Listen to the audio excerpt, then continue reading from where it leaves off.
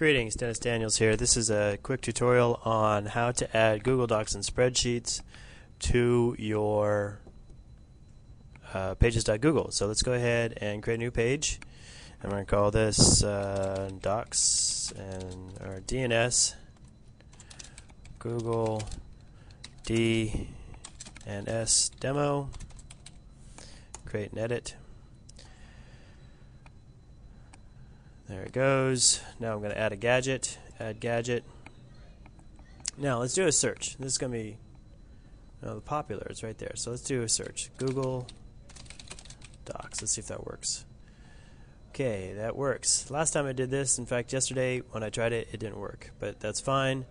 Um, and let's go ahead and load that.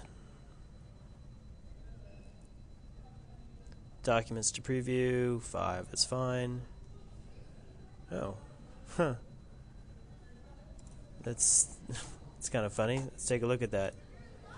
Sorry, the page or document you have requested does not exist. Please check the address and try again. Well, that's that's funny. Um, and let's see if I can make that bigger. Right there. Sorry, the page or document you have requested does not exist. Now I wonder why. Um, let's go ahead and save or publish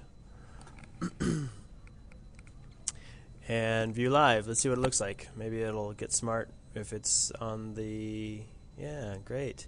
Sorry, the page or document you do not you have requested does not exist. Well, let's go take a look at my documents. Loading right over here and docs.google.com. There's plenty of documents here. So um, don't know what to say about that, but um, anyway, there it is. Uh, looks like there's a problem with pages.google loading docs and spreadsheets. Thanks and happy computing.